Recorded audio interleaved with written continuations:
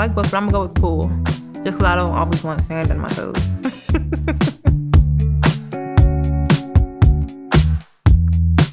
like alcohol. I love a good margarita, mango margarita. Wasn't sure we were like keeping it PG or not, but if we're going there, then margarita.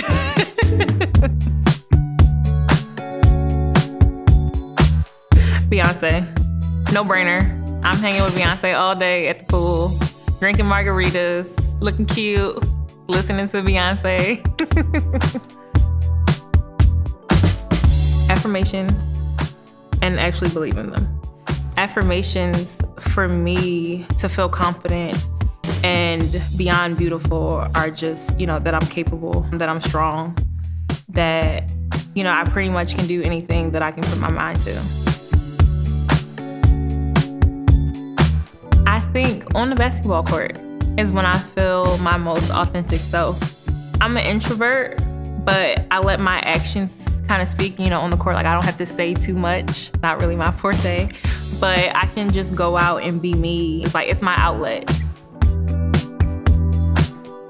To me, self-love means accepting, you know, yourself, who you are, you know, not trying to be anything other than you, not worrying about what anyone else thinks or has to say about you.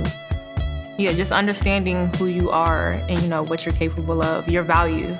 To me, that's, that's self-love. I actually hated basketball when I first started, hated it. Didn't want anything to do with it. And I was not very good at all. Like I was terrible. Like I used to get laughed at on the court.